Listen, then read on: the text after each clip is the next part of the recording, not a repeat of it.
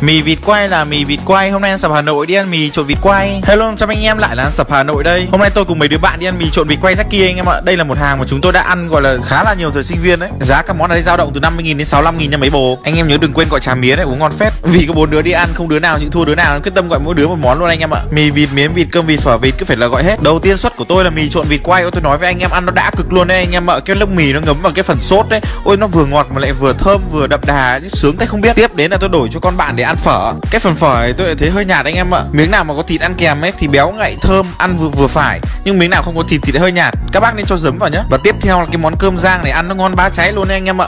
Cơm rang đấy không phải kiểu dẻo mà là kiểu cơm rang giòn ấy. Ăn nó giòn giòn cộng với cả cái miếng đùi thịt. Ôi ôi phê. Tôi xem lại mà tôi còn thấy thèm nữa. Cuối cùng là xin nốt thằng bạn cho thử đĩa miến. Khiếp thằng này đã ăn hết một nửa rồi. Nói chung là cái miến này nó có, có vị gì lạ lạ. Tôi thấy không hợp khẩu vị cho tôi lắm. Ờ, Chốt lại để mà xếp hạ các món ở quán này thì mình thấy mì vịt quay là ăn bá cháy nhất. Sau đó đến cơm rang còn lại hai món kia. Hóa đơn bốn người của mình đi nha. Vì đây là các món với vịt quay nên mình thấy giá này khá hợp lý. Anh em nhớ follow sub Hà Nội để cùng mình đi ăn sập cả Hà Nội nha.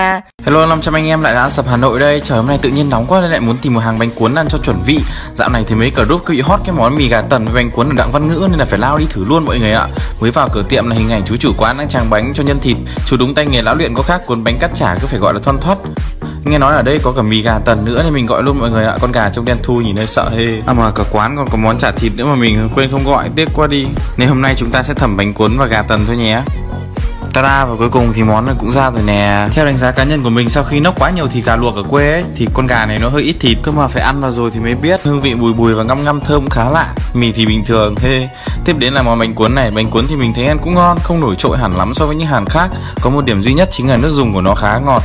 Chốt lại, đây không phải là một quán quá nổi như lời đồn. Với 95k cả gà tấn, bánh cuốn thì mình thi thoảng sẽ ghé lại thôi chứ không phải là ăn nhiều. Với cả những follow ăn sập Hà Nội để cùng mình đi ăn sập cả Hà Nội nha.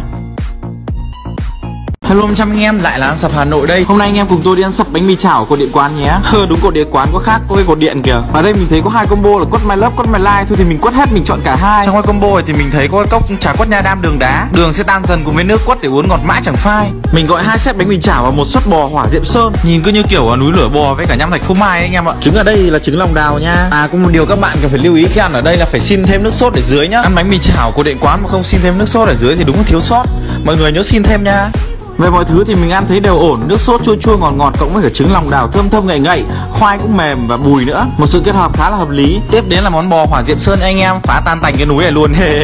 Nói chung thịt bò ở đây thì mềm, nước sốt ngọt, thơm, hơi đậm vị Anh em có thể ăn kèm với cả bánh mì nhá. Riêng tôi thích ăn đậm đà, cứ xiên bán luôn thôi. Cuối cùng để giải ngấy thì cứ làm tí salad gà. Thịt gà xé sẵn hòa quyện cùng với cả rau với cả mayonnaise ăn khá là hợp lý. Ăn xong rồi giải nhiệt bằng cốc trà quất đường nó cứ phải gọi là phê anh em ạ. Mọi người nhớ follow ở đi sập cả Hà Nội cùng mình nha.